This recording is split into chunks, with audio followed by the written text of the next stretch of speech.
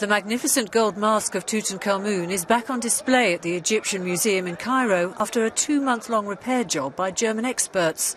Last year, the boy pharaoh's beard fell off when the priceless artifact was removed from its display case. Museum employees reattached it with glue, apparently without success. Extremely important is not just to do some technical restoration, but first to really understand the object in its original character.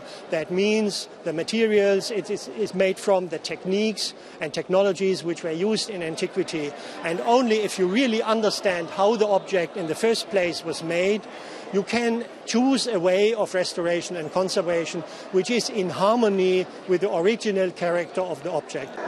The mask is a top attraction at the museum, which has hundreds of items from Tutankhamun's tomb, found in 1922 in Luxor's Valley of the Kings.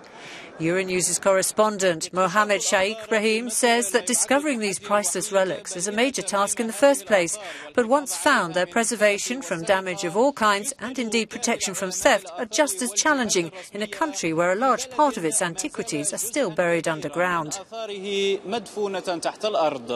محمد شيخ إبراهيم يورو نيوز القاهرة.